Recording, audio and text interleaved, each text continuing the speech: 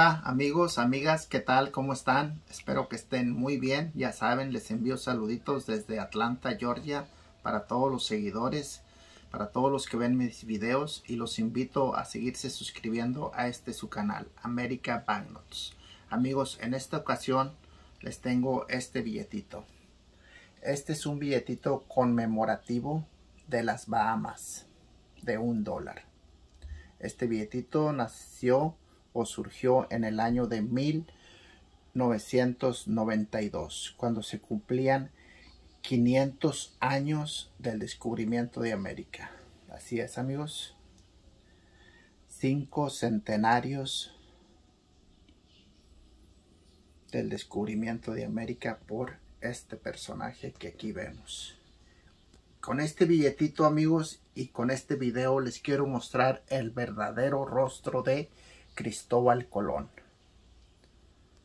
el personaje más siniestro de América. Acompáñenme a conocer la historia que nos ocultan en las escuelas, lo que no nos dicen a continuación. Aquí está el frente del billetito de un dólar de las Bahamas. Ahí lo tenemos, Cristóbal Colón. Christopher Columbus.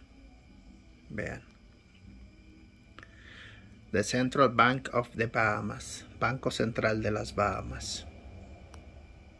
Ahí apreciamos la bandera y el escudo de las Bahamas. Y vemos esta leyenda que dice Bahamas, Freeze Landfall 1492, quincentennial.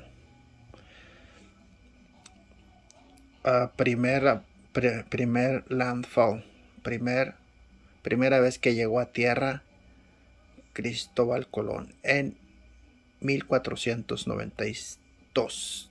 500 años cuando salió este billetito en 1992 se cumplían 500 años, cinco centenarios del descubrimiento de nuevas tierras de América.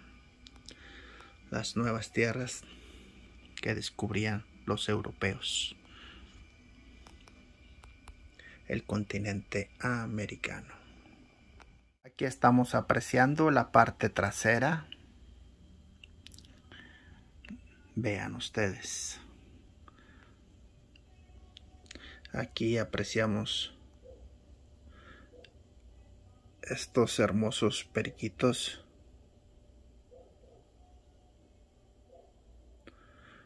de las Bahamas, los flamingos rosas.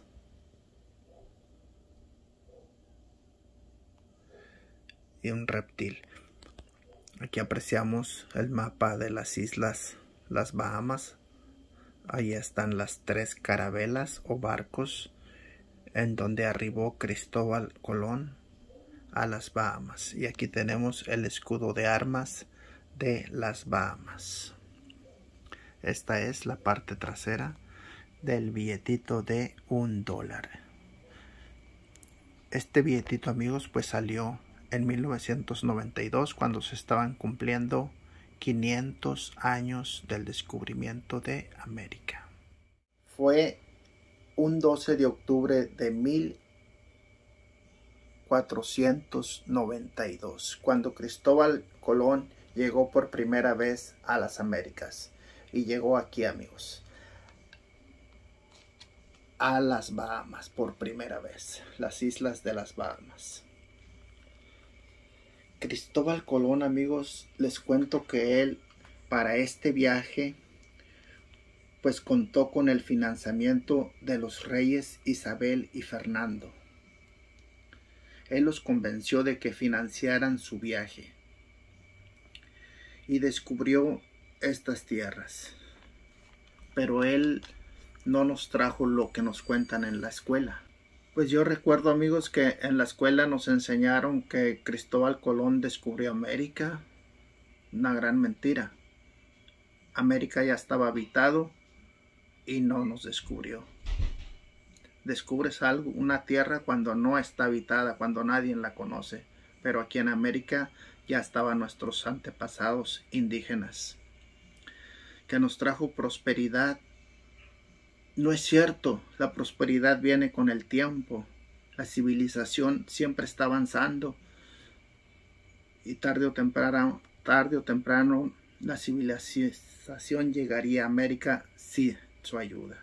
Que nos trajo idiomas, tampoco, porque los idiomas los aprendemos tarde o temprano. ¿Qué nos trajo?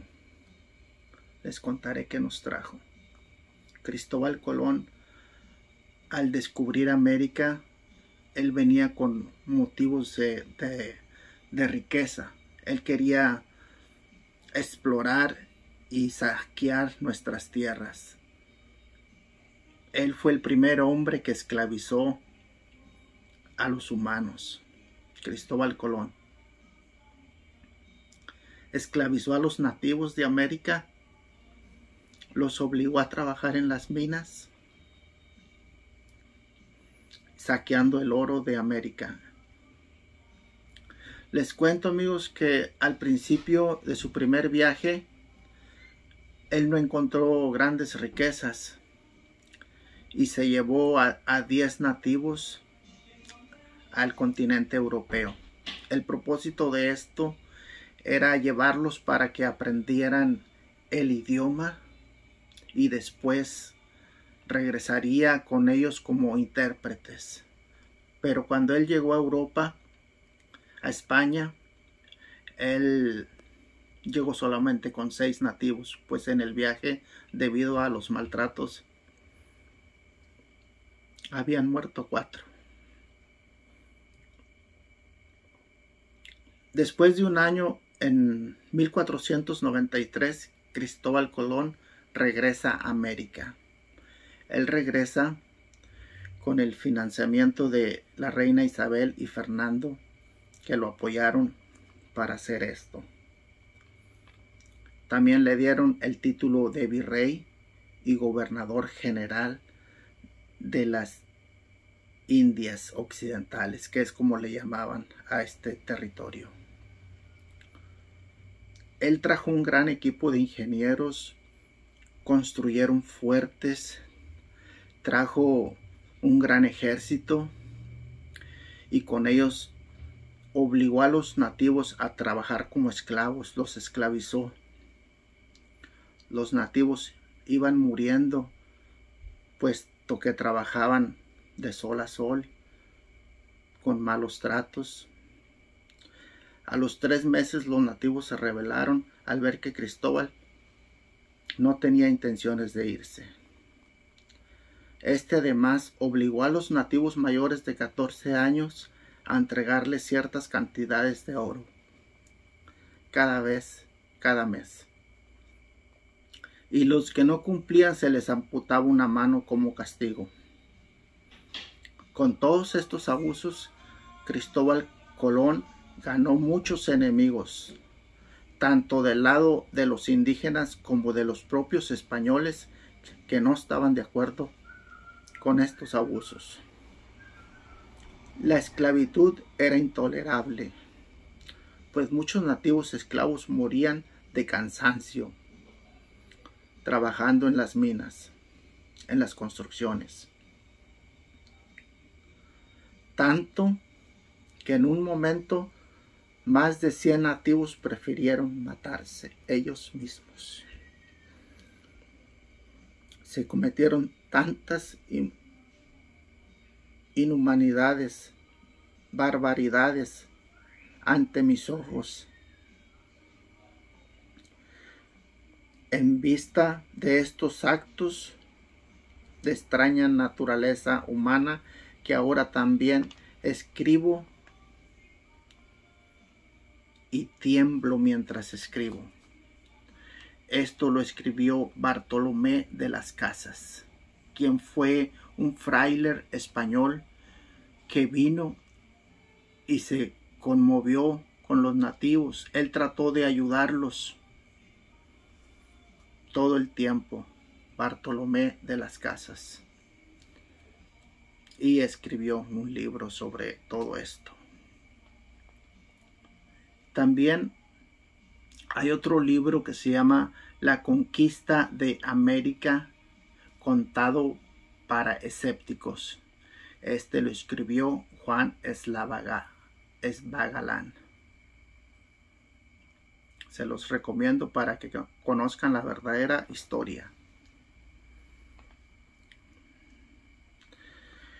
Pues como les decía, los esclavos nativos fueron muriendo y se necesitaba mano de obra.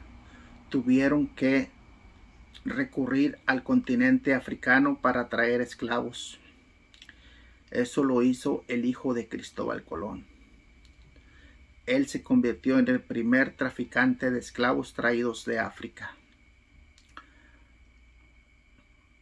Todo esto llegó a oídos de la reina Isabel y se opuso ante tanta crueldad. Fue enviado Francisco de Buda, Budavilla, el cual hizo un informe. El comendador Francisco de Budavilla hizo un informe de 46 páginas describiendo todos estos abusos. Cristóbal Colón y sus hermanos fueron encadenados y apresados. Ellos fueron llevados a Castilla, pero los reyes católicos los indultaron. Como único castigo, solo se les quitaron las propiedades que tenían en América. Ahí está el verdadero rostro de Cristóbal Colón, el que muchos desconocen. ¿Por qué tenerlo como a un ídolo cuando no lo es? No es un héroe. Es un ser nefasto. Vino y esclavizó a nuestros antepasados. Los multinó, los maltrató, los humilló y hizo un, gran saqueo en América. Se llevó horas, se llevó horas trabajando esas minas para sacar el oro, piedras preciosas y cuanto encontró. Por eso amigos, les quería contar esta historia, una parte de esta historia sobre Cristóbal Colón. Él no es el héroe nacional, él no es el gran descubridor de América. Abramos los ojos. Estos billetitos, yo entiendo este billete que aquí lo ven. Este billete, amigos, que aquí ven, lo comprendo porque este aún es territorio británico. Que, que ellos digan que es un héroe, para ellos lo es tal vez, pero para nosotros los americanos no lo es, amigos no lo es. Gracias amigos por seguir nuestras historias. Abran los ojos amigos. Cristóbal Colón no es el personaje que nos hacen ver en las escuelas. Espero les guste el videíto. Saluditos, compartan para que muchos más se enteren de la verdadera historia sobre Cristóbal Colón. Cristóbal Colón, amigos, nos trajo la religión, según. Pero no es cierto, nuestros antepasados indígenas ya tenían una religión. En fin, en la Biblia, la religión que los europeos trajeron a América dice, no matarás. Y ellos mataron miles de indígenas. La Biblia dice, no desearás a la mujer del prójimo. Y ellos violaron, ultrajaron mujeres solteras, casadas, adolescentes, niñas. La Biblia dice, no hurtarás. Y ellos saquearon nuestras tierras, nuestras tierras, nos robaron muchísimo oro, joyas, piedras preciosas piezas arqueológicas. Fueron unos ladrones. la Biblia dice, no mentirás. Y ellos con la cruz en la mano nos mintieron. Se los dejo de tarea, amigos. Vean ese fue Cristóbal Colón. Amigos, como les dije, pues Bartolomé de las Casas defendió a los nativos indígenas de América por muchísimos años, amigos. Él dijo que en una ocasión más de 3.000 nativos fueron acribilados, matados, muertos a manos del ejército español y solo lo hicieron para divertirse. Amigos, por eso no hay que venerar este personaje. Este personaje es uno de los personajes más nefastos de América. Este personaje no merece estar en los billetes de América y sin embargo ha estado en la República Dominicana, en Nicaragua, en El Salvador y en muchísimos otros. Amigos, este personaje no vale la pena. Acabemos con esto.